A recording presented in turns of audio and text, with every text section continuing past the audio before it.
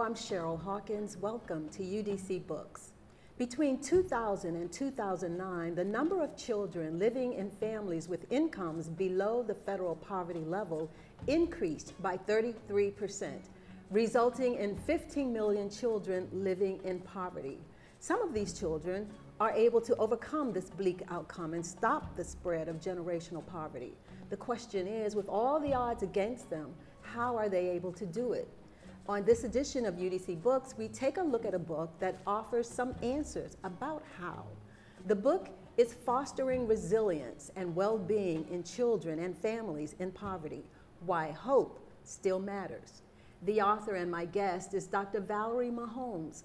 Dr. Maholmes has devoted her career to studying factors that affect child de developmental outcomes she has been a faculty member at the Yale Child Study Center in the Yale School of Medicine. She has served on numerous professional boards, was a member of the New Haven Board of Education, and she was awarded the prestigious Science Policy Fellowship with the Society for Research in Child Development at the American Association for the Advancement of Sciences.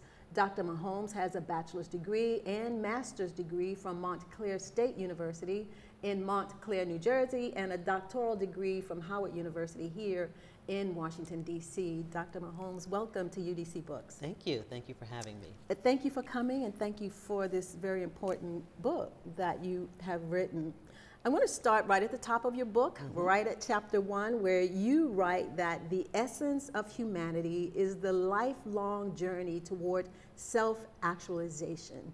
Are we talking about that old who am I? Why am I here? Those questions we all ask ourselves? Absolutely. Uh, we're all here for a purpose, and um, we're on a journey. Life is a journey. And part of that journey is trying to figure out who we are, why we're here, and what it is that we're supposed to accomplish while we're here. And of course, life throws us many roadblocks and obstacles and detours along the way. But in that course of the journey, hopefully, if we're successful, we learn about ourselves, we help other people along the way in their journey, and uh, hopefully, we make it to, uh, to our sense of um, ourselves and sense of actualization. And you cite a couple of theories uh, uh by Carl Rogers, the founder of humanistic psychology, who you believe who believes that humans have a self-actualizing tendency, an innate drive pushing each person to fulfill their potentials. And then you uh, quote Maddi, a personality theorist, who describes this tendency as biological pressure to fulfill the genetic blueprint, suggesting that every person has a fundamental mandate to fulfill their potential. And yet you say, while all these theories are great, um, what is at the heart of this natural tendency to survive. You say that it's hope. Um, such a small word yes. with such a large uh, responsibility or, yes, or indeed. definition.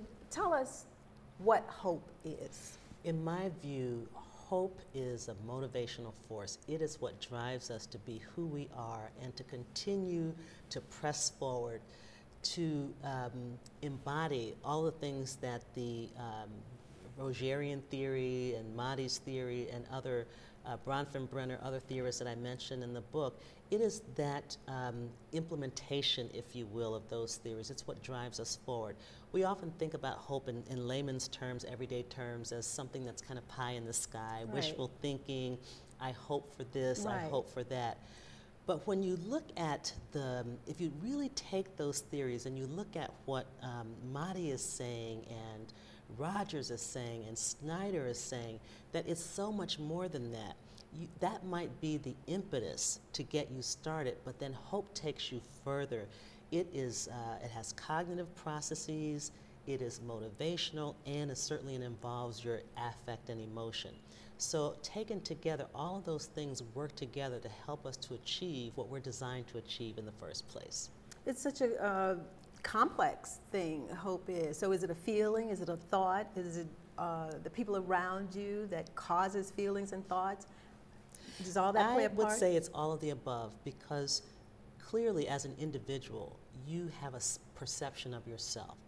And that perception of yourself is shaped by your environment. And um, that comes from your community, your family, Um, and what happens is that people challenge that perception based on uh, messages that they get from um, maybe even television, from a book that they've read. Many things help people to say, Is this who I really am? And they challenge that perception and then they move forward to try to achieve something um, based on who they think they are and who, mm. what they think they can become. And in my view, I think that that's what we have to do. We have to give people an opportunity to see what they can be and to see who they can be, and then give them the tools to strive and move toward that. Mm-hmm. Um, you write that against all odds, human interest stories resonate deeply within us and keep us mindful of the human spirit to overcome challenges and adversity. And you um, talk about a few of those people who yeah. are prominent in uh, our society today. Uh, Ursula Burns, you mentioned her. For those who don't know, uh, is the chairperson of Xerox yeah. Corporation, the first African American woman to uh, be the head of a Fortune 500 company. Yeah. Um, Oprah Winfrey. Absolutely. Dr. Ben Carson, yeah. who's all in the news now, and President Bill Clinton all had some uh, uh, adversities in their lives, but you write that there was this defining moment to help switch that all around. What is a defining moment? Yeah, it's something that is unique to the, that resonates deeply within for the individual. So my defining moment may be different from yours. Oprah's may have been different from Bill Clinton's, let's say, for example, but it is something that that uh, brings together your perception of who you are and your vision of what you want to be and what you can be. And I recall Oprah telling the stories of when she first learned that talking was something that she could do. And then people around her reinforced that. Girl, that baby sure can talk. I remember hearing her say that in one of her uh, one of her shows, and they reinforced that for Dr. Carson. He didn't think he could learn. He didn't think he was a good learner. His mother insisted that he do the work. And once he had one success, you know how they your your parents tell you success breeds success. Once you have one success and you realize that this is something that I think I can do, um, that helps to then open up those pathways for you to think and those doorways for you to think that you can walk through. And what hope does is give you the sense that you can walk through those doors and then helps you to strategize to, to achieve those goals. Now, um, do we always get it right at that moment when we have that defining thought or that moment? Uh, does it take several of these defining moments to get us going, or does yeah. it depend? I think I, I don't think so. I think you know, as humans, we are often questioning and challenging ourselves. So then you have to think about self-concept, um, self-confidence, and competence, and things of that nature. And um, sometimes you'll know that something is. There are people who know that they are born to sing or to teach or preach or whatever it is, and their life kind of charts, they chart out a path uh, to achieving that. But others, I call it following the yellow brick road, and my career was like that. Um, you start out in one place and then you follow all of the opportunities and it takes you different places. And somewhere along the line, you realize that this is where I'm supposed to be. Um, and these are the skills and competencies that I've developed, and I'm really good at it. And this uh, reaffirms for me who I am, and you start to walk in that path. So I think it's different for everybody. Sometimes it takes um, a lifetime for people to realize. Um, to self -actual, uh, actualize. Mm-hmm. Um, and for others, it may be a, a a few steps along that journey where they have an epiphany and mm-hmm. realize that they can uh, they can do something and they can achieve something really good. That's important that you just said that because in today's society it's about uh, hurry up, get it now, yeah. get it now, and you're saying it can take a, a lifetime for a person to get to that place of I really understand who I am and why I'm here, and that it's okay yeah. for that. I mean, I've heard parents say about their children, when are they going to get it together? Exactly. You know, you know but um, you're saying that there's hope. That's right. That's right. That's they right. can still get it together. That's right. Um, poverty has uh, played a large yeah. role uh, uh, for people, an adversarial role uh, yeah. role in people getting towards success, uh, their goals in life. talk about uh, the effects of poverty in uh, and how and what it does or doesn't do in terms of helping a person or hindering a person Yeah, to reach yeah. their goals. Well, of course, poverty um, in its severest form has both a biological and psychological impact on people. Um, we're studying uh, now what we call epigenetics, and we look at the extent to which the environment might even suppress the uh, expression of certain genes, certain things that you're endowed with Hmm. to be able to achieve your goals. And so, um, poverty, uh, when you're in an under resourced community um, and have family dysfunction and maybe attending a school that is under resourced, um, it has a significant impact on your ability to uh, first even see yourself beyond what's in front of you. And, and to me, I think that that is the most damaging of all. When you see that intergenerational poverty, s- the cycle of poverty repeating itself over and over again, um, it's primarily because uh, there, are structural, there are structural issues notwithstanding, and, and I'm not speaking of those right now, but just from an individual uh, point of view, to me, the most damaging thing about poverty is that it shuts down people's vision of what they can achieve and what Hmm. they can be. And it really kind of puts a damper on their sense of hope. Mm-hmm. And that's the most damaging. As long if we are um, naturally and inherently endowed, as Maddi would say, with the capacity to achieve, with the drive to, to achieve, to move forward, to keep striving, to go upstream, um, but the context pulls us back and doesn't allow us to see that. I think that's the most damaging. We don't know um, who these wonderful people and children could be and what they could achieve um, because we have uh, because poverty has um, really short-circuited their ability to to fully experience all that Mhm. life has to offer for them and all that they have to contribute to life and to us. So, um, I, in my view, I think that that's one of the most damaging things when people can't see what they can be, when they think that all that they have in front of them is all that there is, and they don't have the wherewithal or don't think that they have the wherewithal to strive beyond that, um, we all lose out. We all lose out. Yeah, and um, you know, I can remember uh, when I was younger. Um, I guess I was uh, maybe mid twenties, still trying to figure it out.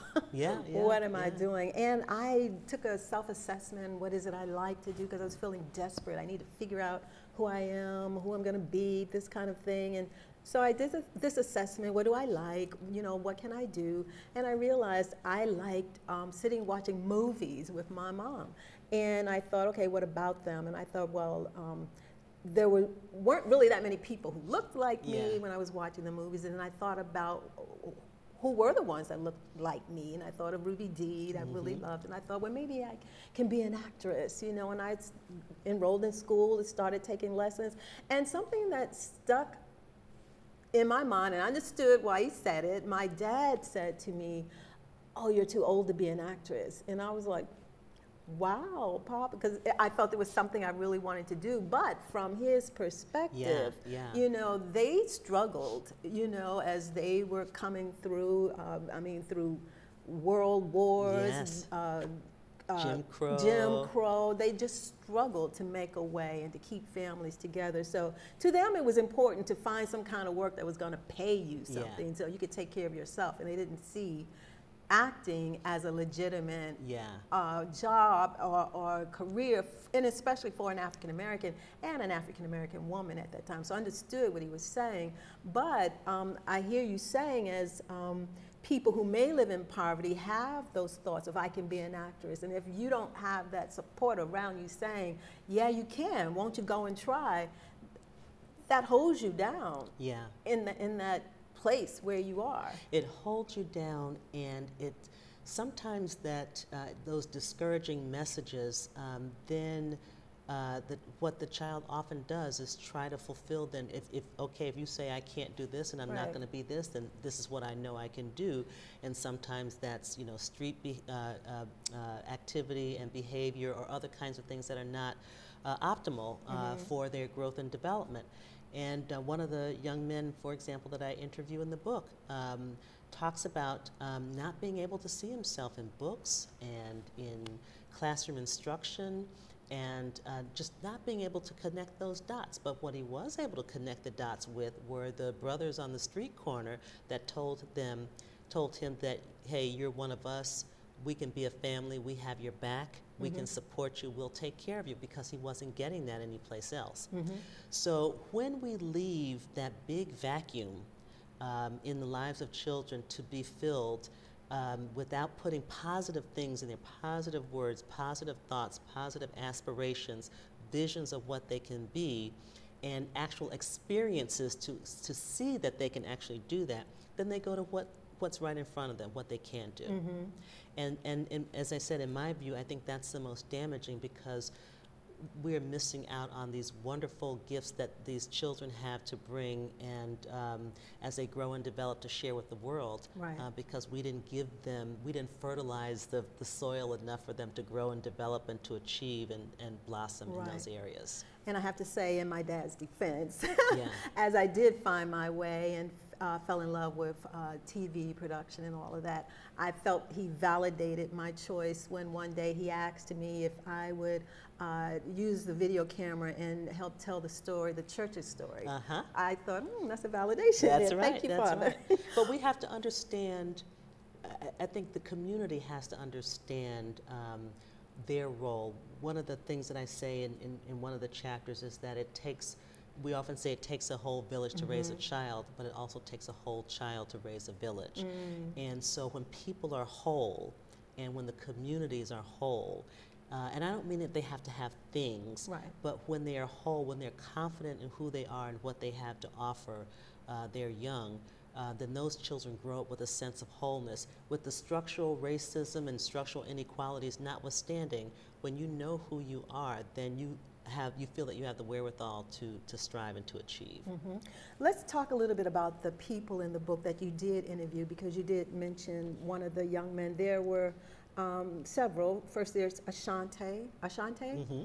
He's an African American male, age 30, um, and then Carlton, a middle-aged African American man.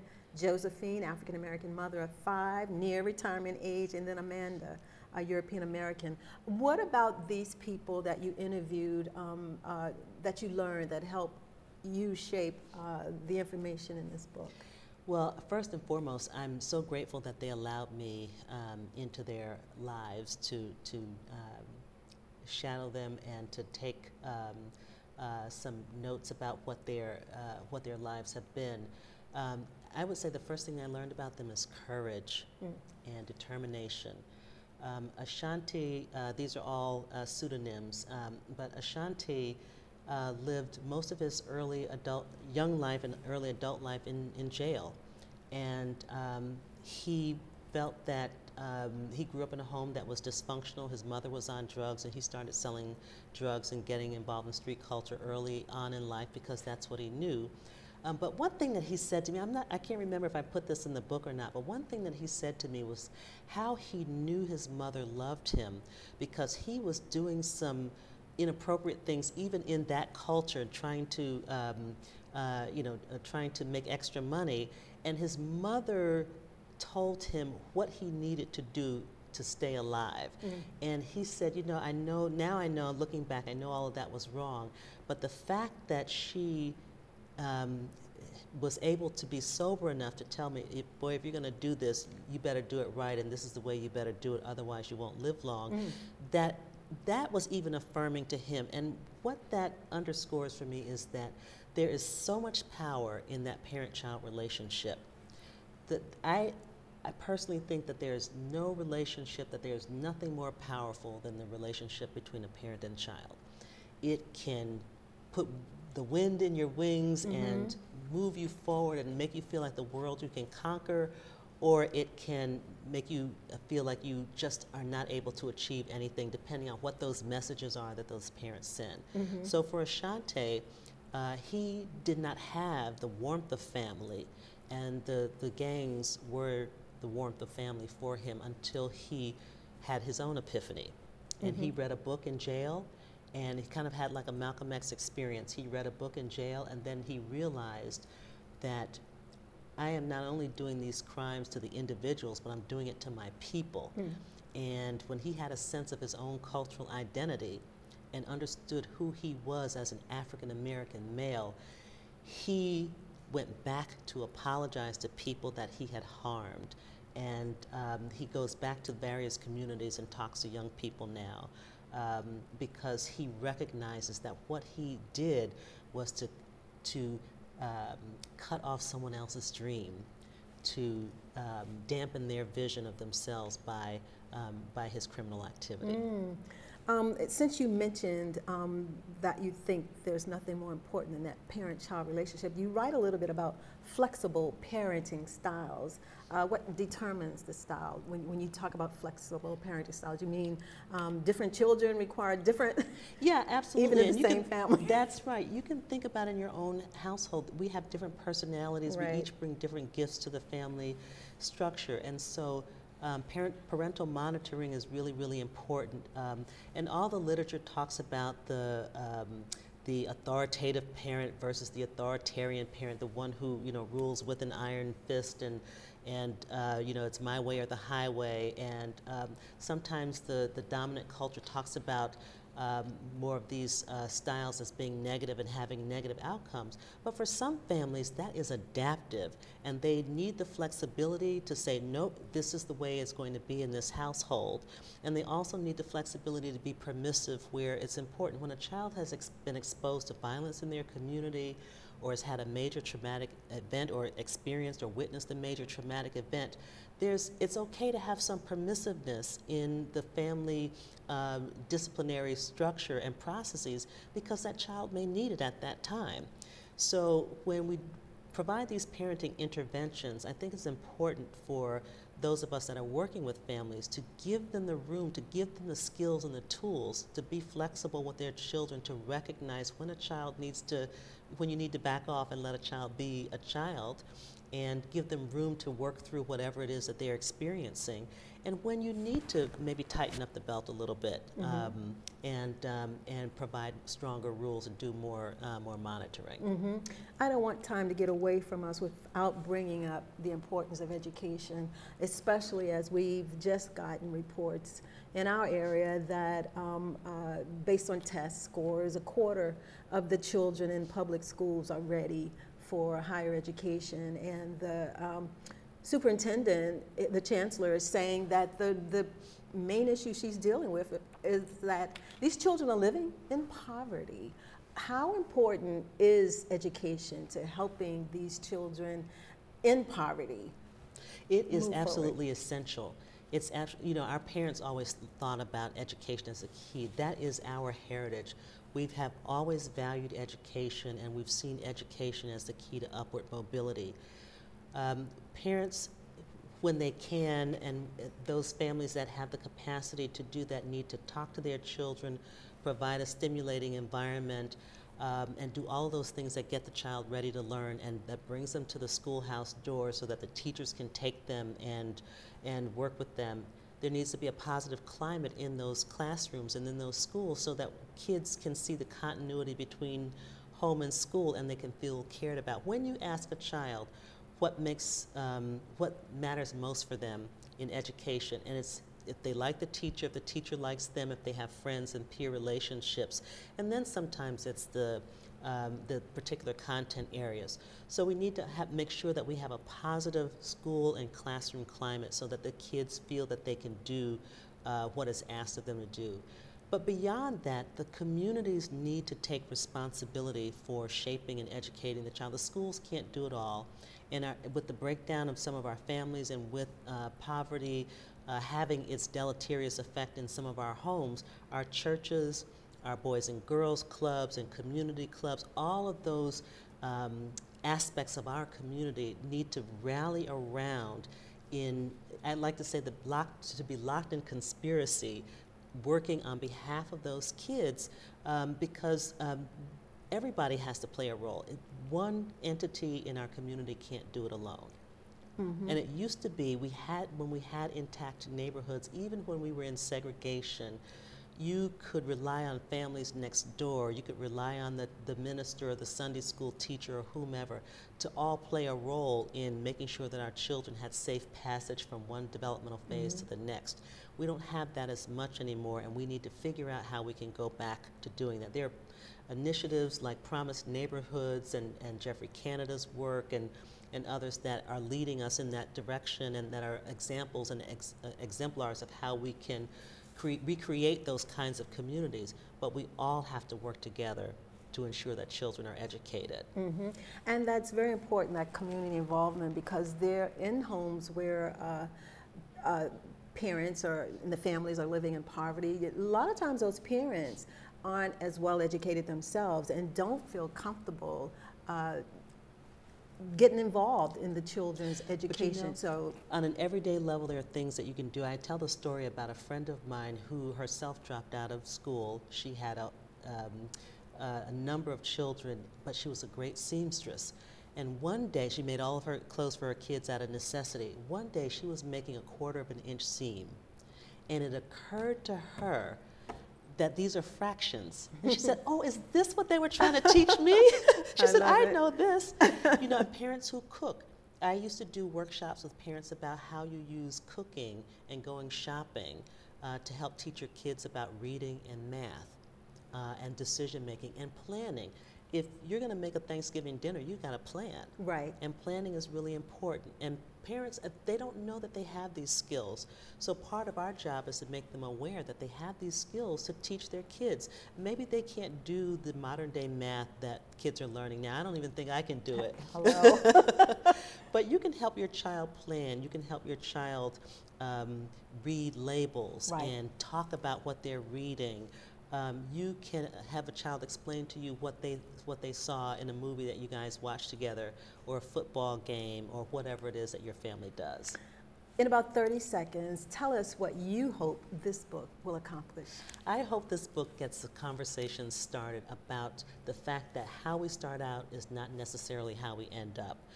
That we have the inherent ability to achieve, we're wired for hope, we have so much capacity from a biological perspective as well as from our individual psychological perspective to achieve. I want people to believe and to know that we can be whatever we see, but we have to be able to see it.